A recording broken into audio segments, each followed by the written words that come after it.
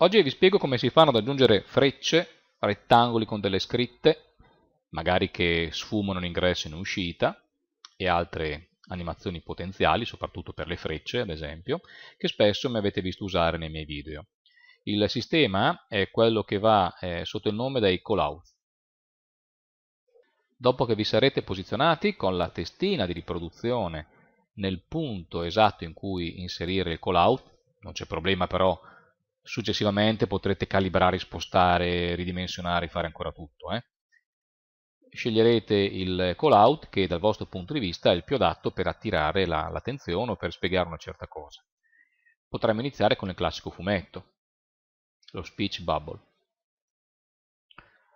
Il callout viene sia aggiunto in tempo reale qua sulla finestra di riproduzione e lo potrete posizionare a piacere,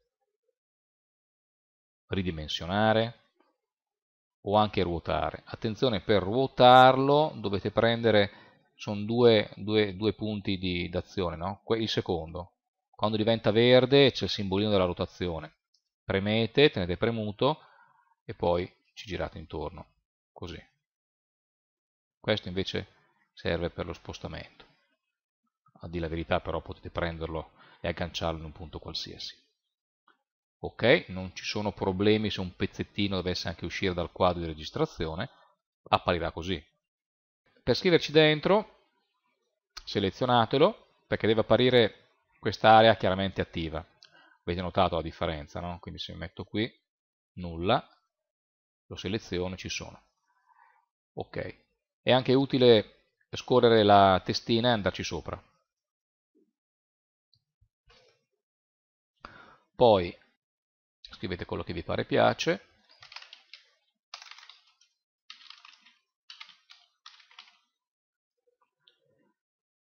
Vabbè qua poi è facile. Scegliete la dimensione del testo e le altre caratteristiche. Potete anche aggiungere effetti come l'ombra oppure capovolgere orizzontalmente o verticalmente o scegliere tra uno degli stili che qua sono proposti e se un certo effetto in elenco è sfumato è perché non ha senso applicarlo quel tipo di callout. Start cap end cap vanno bene per le linee e le frecce.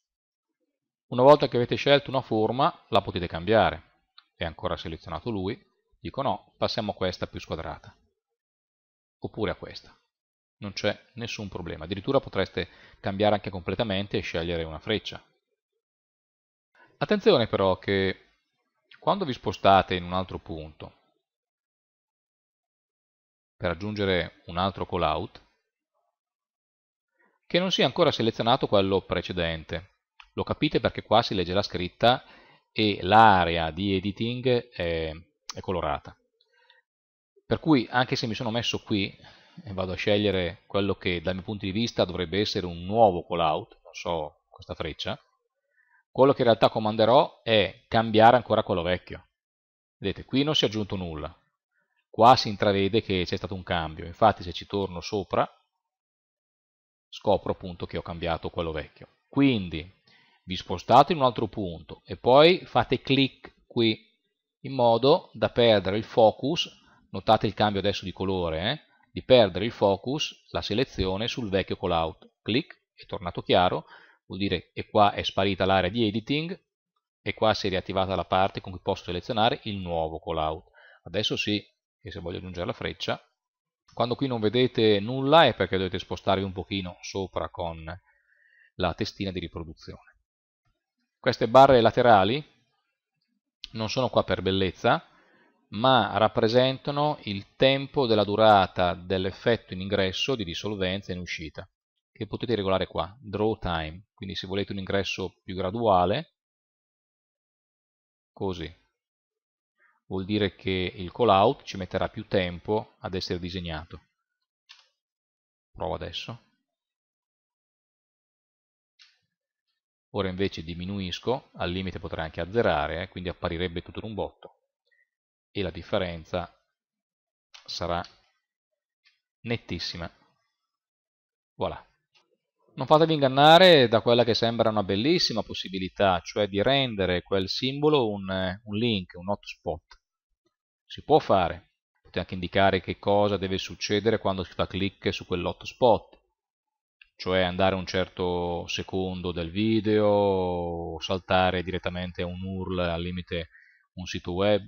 Ok, tutto molto bello, però il problema è che deve essere supportato dal player, per cui il player di, di YouTube non supporta questa caratteristica che è di Camtasia. Funzionerebbe solo se pubblicassimo il video sul loro sistema di streaming, quel screencast di cui ho parlato qualche lezione fa. Oppure se il target della vostra produzione sarà un prodotto su CD. Mi sembra che anche in quel caso allora abbia un senso far funzionare i link, però lì un piccolo dubbio ce l'ho. Il callout di tipo Sketch Motion è animato. Quindi lo scelgo, anzi lo metto prima in un punto diverso, qua, ecco. Voglio evidenziare con un bel bordo rosso la scheda di questo mod leggendario, va bene. Vado a scegliere lo sketch motion, questo o questo. Eh, mi sono dimenticato di fare clic, quindi ho cambiato l'altro. CTRL Z annullo, clicco e lo riscelgo. Lo posiziono.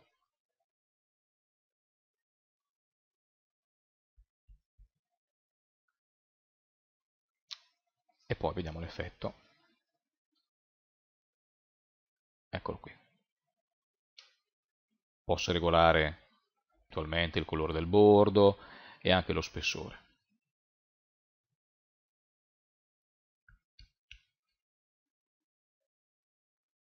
riproviamo eccolo qui un altro callout particolarmente utile che uso spesso è l'evidenziatore mm, forse un videogame non è il più adatto come scenario molto meglio quando sto scrivendo nel codice e voglio evidenziare alcune sue parti in effetti però dai tant'è proviamolo eh, posizioniamolo qua magari per attirare l'attenzione sulla scritta inventario Vabbè, c'è poco da dire, insomma. E adesso poi dovrei anche scegliere meglio i tempi. Qui. Ok. Tra gli altri effetti speciali, la sfocatura. Questo. Blur, in inglese. Potrebbe servire, che so, adesso ne creo due CTRL C, CTRL V per copiare, ecco, questo modo, un modo brutale, eh, concentrare l'attenzione sullo zaino dell'inventario. Ok, così. Oppure il contrario, questo, che illumina spotlight un'area, scurendo il resto, così. Eccolo qui. Carino. Beh, poi sul tema abbiamo l'effetto pixelizzazione e ciascuno naturalmente ha anche un'intensità con cui lo si può applicare. Eh? E se volete attirare l'attenzione su una combinazione di tasti da utilizzare, allora questo è il callout da eh, sfruttare. Ce ne sono poi quelle 3-4 varianti, avete visto. Eh, in pratica, inserendo uno di questi callout, proviamo questo, vi sarà data poi la possibilità di specificare qui il, il tasto o la combinazione, magari col CTRL, ALT, eccetera, e lui catturerà in tempo reale la vostra combinazione, la proporrà in automatico pronta nel callout. Aggiungo solo ancora un paio di particolari potete tranquillamente impilare, sovrapporre quindi sulla timeline più effetti contemporaneamente per farli partire tutti insieme. Anzi, regolando ad arte l'inizio e la fine di ciascuno, potreste ottenere un effetto animazione anche abbastanza, diciamo, mediamente complesso. Andiamo a vedere questa meravigliosa composizione, una specie di arlecchinata mostruosa, che però ci fa capire come funziona il tutto. E con questo vi do appuntamento al prossimo video.